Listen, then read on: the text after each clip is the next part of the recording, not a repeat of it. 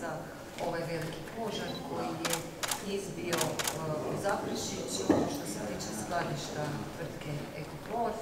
Dakle, nema više otvorenog požara, no još uvijek se obavljaju određene radnje vatrogasaca i ovaj to će se činiti sve dok ima imalo dima.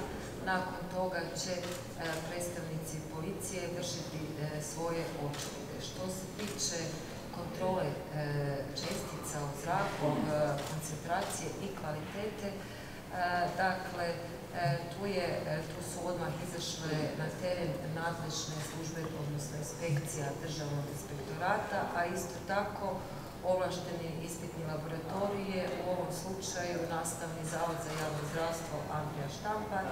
Dakle, potvrđeno je već javno da kad govorimo o koncentraciji, nije bilo e, razina bilo kojih e, čestica iznad onih graničnih, a što se tiče same kvalitete, dakle, zato će trebati još dodatne analize koje, se rade i o rezultatima kojih će nadležni izvestiti javnosti.